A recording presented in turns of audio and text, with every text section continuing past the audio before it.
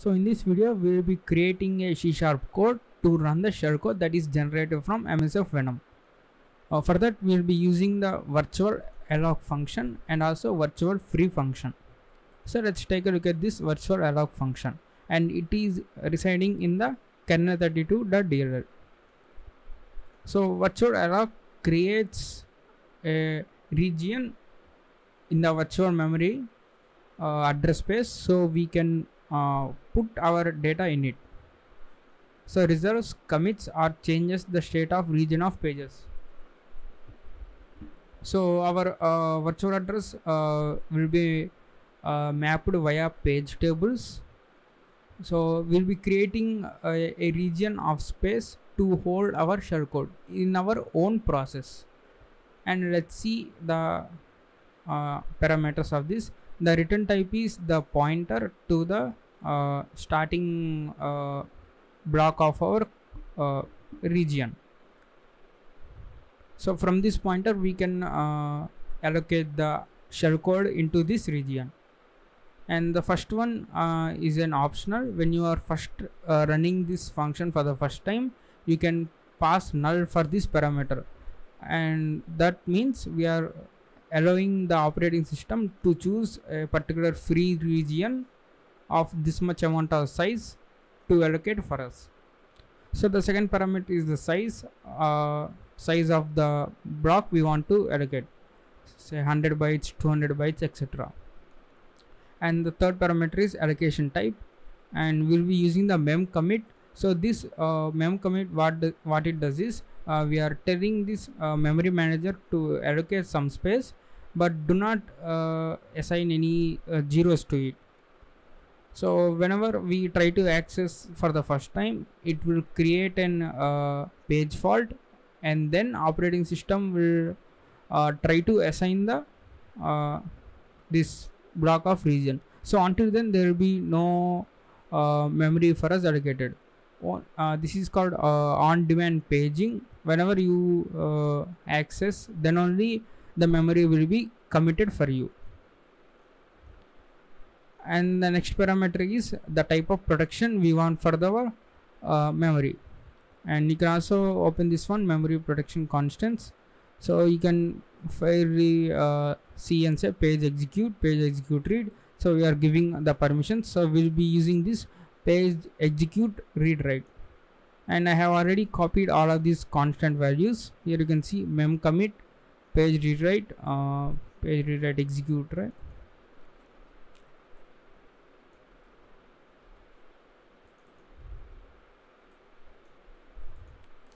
So I also created the shellcode using this command msf venom.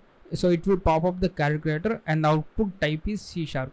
Now if you expand this and here you can see the shellcode from msf venom. So it's a normal byte array. So let's define our functions virtual alloc function?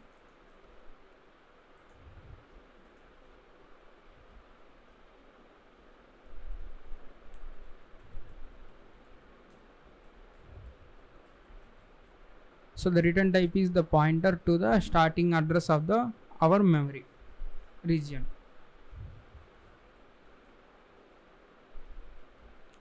And the first parameter is the pointer uh, to the address where you want to create.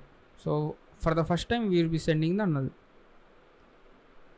and the size. So it's obviously going to be int and the allocation type which is the uint32 and the protection type. Let's also uh, declare this virtual free so virtual free will free the memory region declared by the virtual alloc function. So in this uh, this is compulsory because uh, we need to actually uh, if you are calling this function we need to actually free something and this is a mandatory parameter. The pointer to the base address or the region of pages to be freed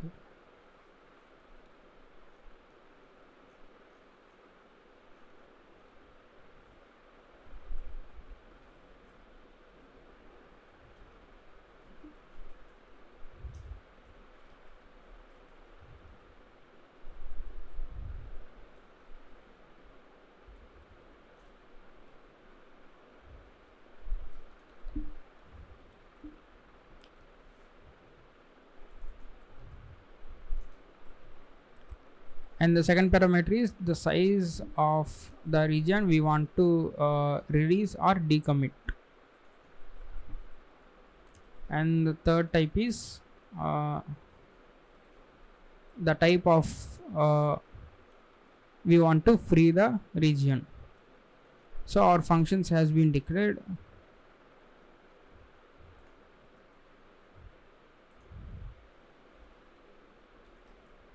so let's say int ptr starting ptr so this starting pointer points to the starting address of our uh, memory region and virtual alloc so we are uh, sending the first point first parameter as null because we don't know where there is a free space in the memory. So this will be decided by the operating system and the second one is um, mem commit sorry there is a size i think. So size the size of this one is uh, let's say int shellcode size is equals to we can say buff dot length.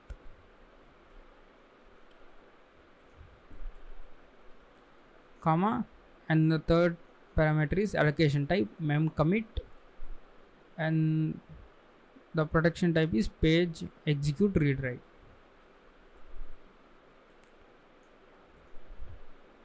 so let's also create virtual free of the starting pointer.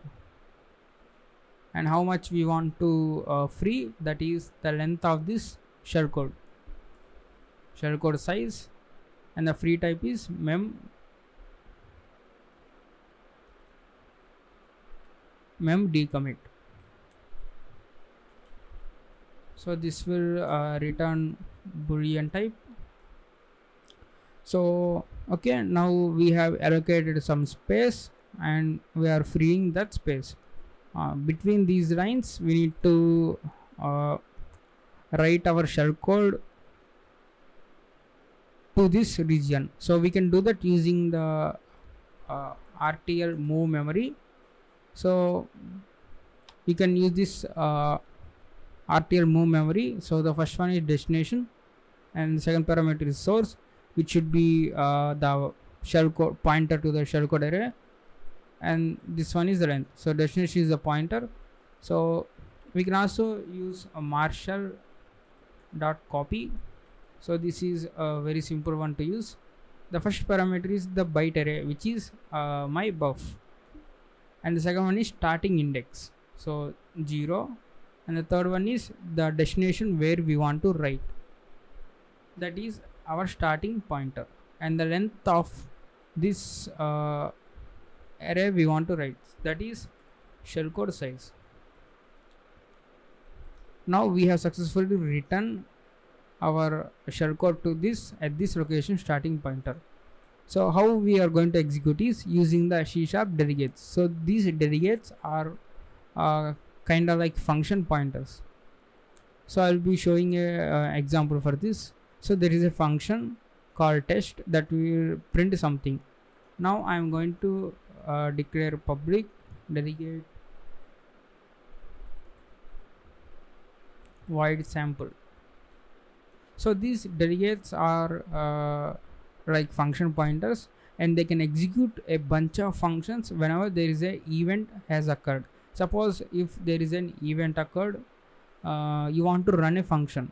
So you can obviously call one function. If you want to execute 10 functions for the same event you need to say uh, test 1 test 2 test 3 etc so instead of that what you can do is you can group bunch of functions into this delegate.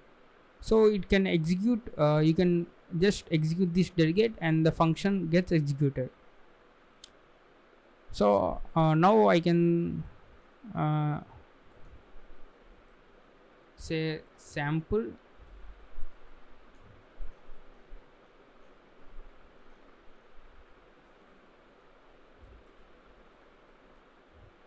Sample s is equals to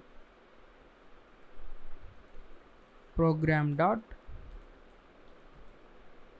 uh, program dot test. So the test function is the uh, uh, yes the test function prints something. Now I can just call this as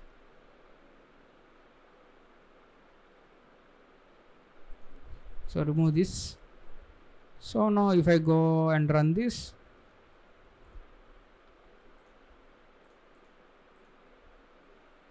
so now we can see we are printing we are executing that function using these delegates.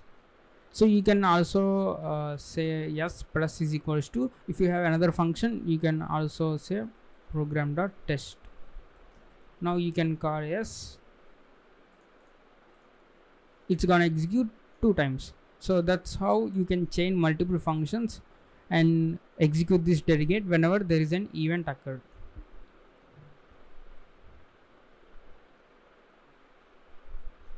so now we have this uh, delegate sample right? Now what we're going to do is uh, we are going to fetch the contents at this starting pointer and execute that as a function. So we can do that using marshal dot get delegate for function pointer. So we are getting the delegate for this function pointer. And the parameters are starting pointer and the next one is type of uh, sample. So it's just uh, nothing. So this will give you the type sample s is equals to and we need to cast this as sample. Now we uh, allocated this delegate to execute the function located at this starting pointer. So now I can simply call yes and the the code at the starting pointer will be treated as a function and gets executed. Now let's go and run this. And here we can see we got the calculator pop. So this is how you run the shellcode using the C sharp using the delegates and Windows functions